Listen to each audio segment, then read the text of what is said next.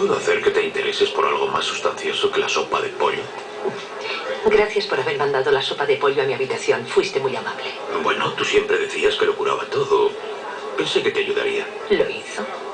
Bien. ¿Habéis planeado, Iden y tú, esta cena sorpresa? Oh, no, no, no, no. Yo no tenía nada que ver. Fue Iden. Yo no tenía ni idea de lo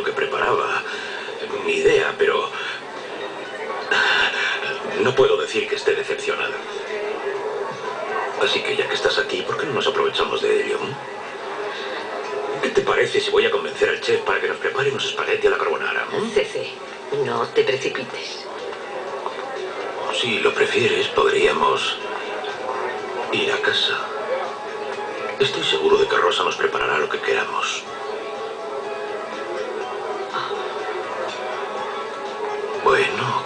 ¿Qué pasa? ¿Puedo saberlo? Ya te he dicho que no estoy preparada para empezar nada. Me gusta ser independiente. Tendrás que acostumbrarte a la idea de que vivo sola. Estoy bien. De hecho, lo estoy disfrutando.